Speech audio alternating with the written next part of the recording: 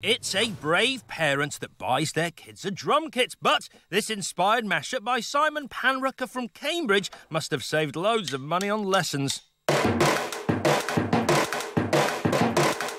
My youngest niece, Flo, has got a kid's drum set for Christmas. And I just thought, oh man, it'd be cool if I could make a video that makes her look like an ingenious, virtuosic drum soloist. Then I got my older niece to do it. Poppy just wanted to wear that giraffe costume. The way that I shot it was pretty boring for them. The youngest one, especially, was like, "Oh, can I just play the whole kit now? I just want to go nuts." And she had the real like rock and roll uh, mentality. But they're both super cool, and uh, I, I like. I really want them to like me. So.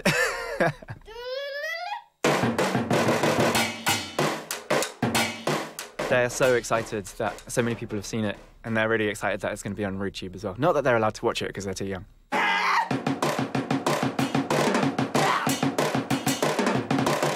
There was certainly no intention to make myself look the best drummer of the three. Um, it's just a natural thing because I am better than both of them uh, in every way conceivable. That